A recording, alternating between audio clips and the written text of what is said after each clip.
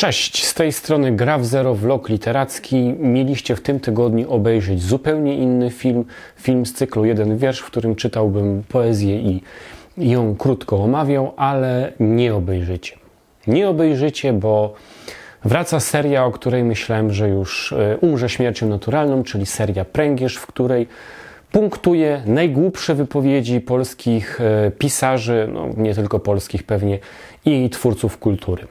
Wydawało mi się, że nic nowego już tutaj nie mam do powiedzenia, bo te trzy czy cztery filmy, które zrobiłem, no tak mniej więcej pokazywały te, te, te najgłupsze tory, w które idą e, właśnie współcześni twórcy literatury. I wszystko, co pojawiało się później, byłoby albo powtórzeniem, albo były to wypowiedzi tak krótkie, że bez sensu byłoby nagrywanie no, 30-sekundowego czy 40-sekundowego filmu. A tu jednak rzeczywistość pokazała mi gest Kozakiewicza i udowodniła, że można jeszcze głupiej, jeszcze bardziej idiotycznie i jeszcze bardziej bez sensu. Bo zawsze wydawało mi się, że to pani Magdalena Środa jest mistrzynią w przechodzeniu z każdego tematu do e, PiSu i Kościoła, często nawet razem wziętych. Ale oto na najlepszej grupie facebookowej, czyli na jej jawce, znalazłem tekst Wojciecha Kuczoka, który udowadnia, że będzie niezłą konkurencją, bo połączył w jednym felietonie skoki narciarskie, religię i partię miłościwie nam panującą.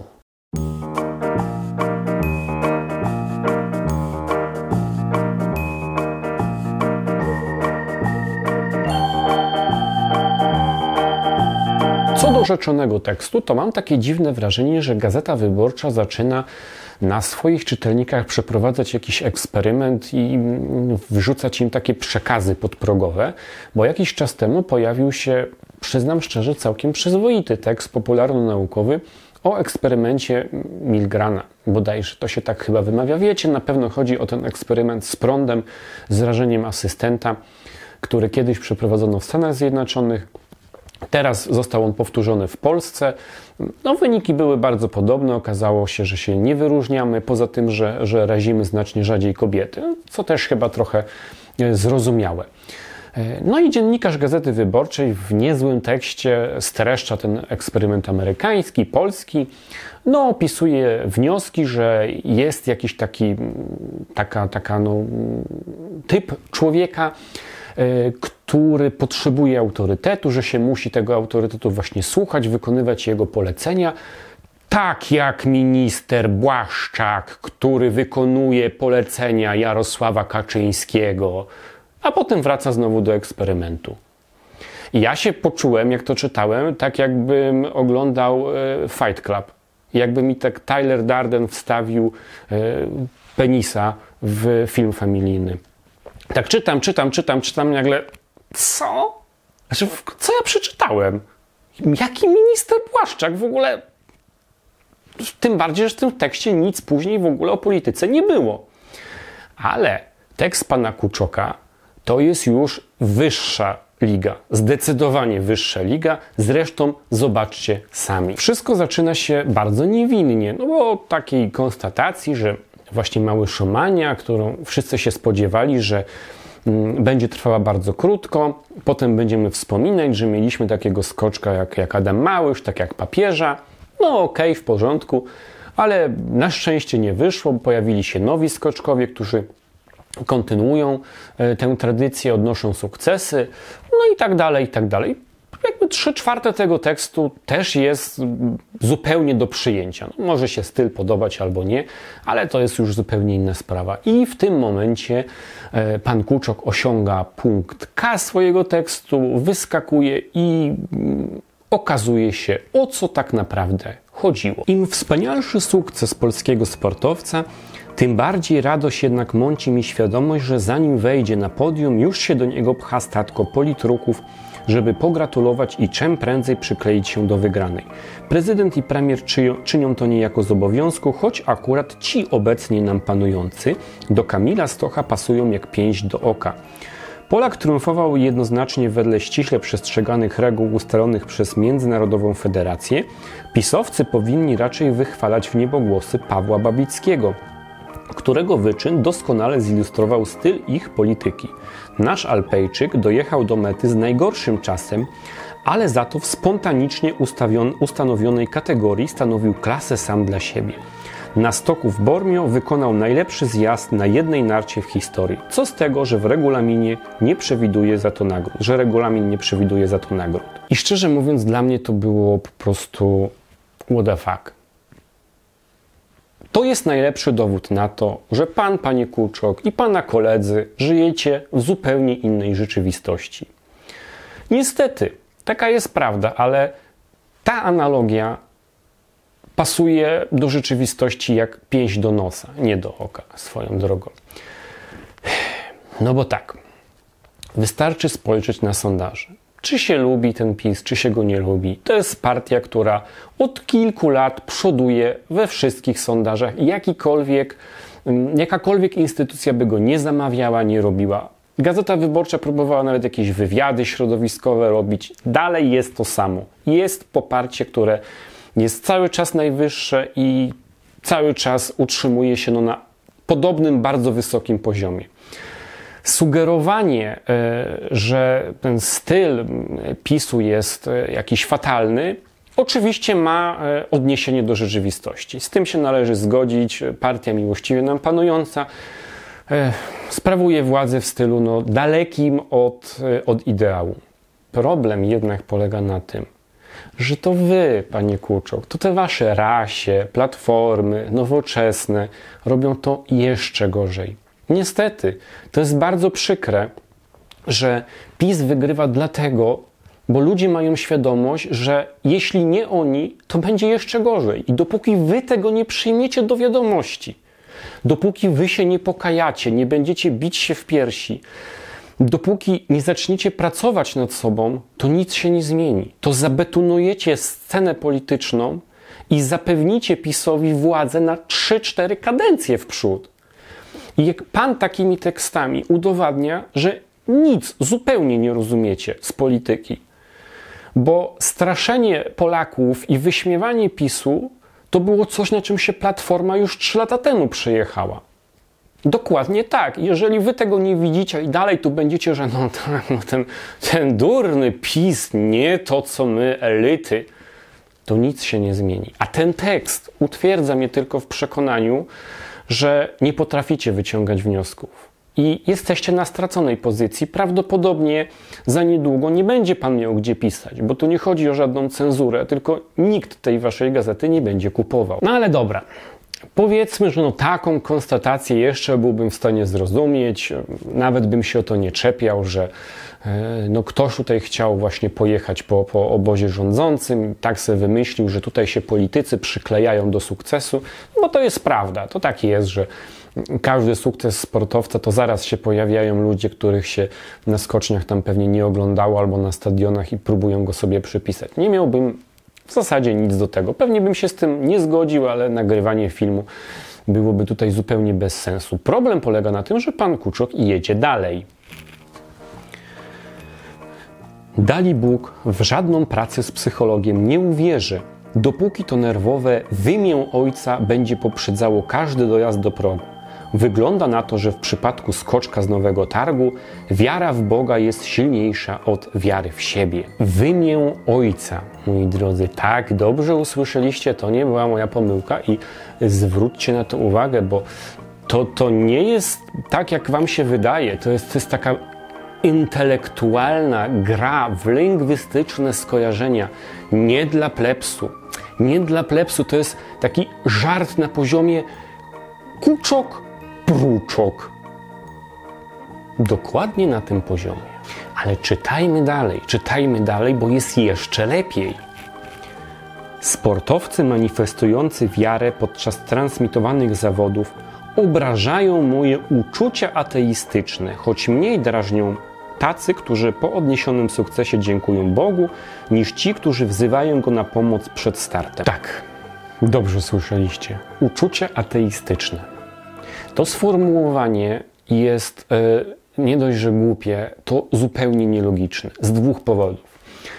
Po pierwsze, to po to całe tabuny ateistów, antyteistów walczą z określeniem uczucia religijne, żeby teraz pan Kuczok przyjął sobie sposób mówienia swojego przeciwnika i zaczął nam serwować jakieś dyrdy małe o uczuciach ateistycznych. Brawo, brawo! To jest strzał stopę, to jest cap de grace we własne, we własne serce. Nic innego. Ale jest druga ważniejsza sprawa. No bo uczucia religijne mogą istnieć albo mogą nie istnieć, natomiast uczucia ateistyczne są wewnętrznie sprzeczne. To sformułowanie, to sformułowanie jest po prostu nielogiczne. Dlaczego? Ano dlatego, że ateizmu nie powinno się zestawiać z religią jako taką. Z czym możemy zestawić ateizm? Z teizmem. Ateizm nie równa się religii. W ramach teizmu mamy wyznawców różnych religii, ale mamy też ludzi, którzy wierzą w Boga, a nie należą do żadnej z tak zwanych religii zinstytucjonalizowanych. Co ciekawe, jeśli już jesteśmy przy modlitwie, to ci ludzie modlą się bardzo często. Była swego czasu taka bardzo popularna wśród nich, nie tylko wśród nich zresztą, książka pod tytułem Potęga podświadomości, która mówiła właśnie o modlitwie w oderwaniu od religii. Po prostu o modlitwie. No ale pan Kuczok zdaje się e, o tym zapominać. Więc w tym momencie tworzenie uczuć ateistycznych to jest woda na młyn do wszystkich twierdzących, że w ramach ateizmu funkcjonują religie, tak? Bo mm, funkcjonują takie zachowania, w których ludzie mają swoich świętych, e, swoich heretyków, swoje dogmaty, których bronią zupełnie czasami nielogicznie. E, to, że się mówi, że Dawkins jest papieżem ateizmu, to jest przyjęcie poetyki swojego przeciwnika, sposobu wysławiania się, sposobu wysławiania się swojego przeciwnika. To jest klęska, to jest zwyczajna klęska e, tych ludzi i Kuczok się w nią świetnie wpisuje. W zakończeniu artykułu idzie po prostu na całość, rzucając tam taki piękny kawałek. Skoczek, który pół roku temu miażdżył rywali jeszcze bezlitośniej niż czyni to obecnie Kamil Stoch, to chyba o panu Kubackim jest, nie powinien się zachowywać jak pan Zenek z aerofobią, który umiera ze strachu w kołującym aeroplanie. Mateczko Boska, jak się nie przeżegnam, to spadniemy. A przecież Bóg nie ogląda skoków narciarskich, od kiedy istnieje TV Trwam, nie przełącza na inne kanały. Dobra nad tym e, pochylę się trochę dłużej. Otóż, moi drodzy, czy się to panu Kuczokowi podoba, czy nie, to jakieś 80% ludzi na Ziemi wierzy w istnienie Boga. E, jakby od tego, mm, od tych niewierzących odjąć jeszcze agnostyków i odjąć jeszcze mm, ludzi nie dopisujących się do żadnych religii, no to pewnie będzie z 90%. Jakie to ma przełożenie na sportowców? Nie wiem, ale podejrzewam, że takie samo jak na całe społeczeństwo, no bo nie wydaje mi się, żeby sportowcy tutaj jakoś się szczególnie wyróżniali. Możemy więc założyć, że z trzech sportowców to co najmniej dwóch przed startem, przed skokiem, przed rzutem, przed pływaniem modli się. Jedni to robią w jakiś sposób, no taki, który widzimy, inni nie. E, no i gdyby teraz trenerzy mieli z tym walczyć, no to większość z nich zwyczajnie by straciła pracę. Po pierwsze, dlatego, że byłby opór ze strony sportowców, a często jest tak, że to oni sobie trenerów dobierają. A po drugie, dlatego, że nie byłoby wyników. Niestety, pan Kuczok może udawać, e, że to nic nie daje, że to wręcz przeszkadza, ale rzeczywistość jest zupełnie inna.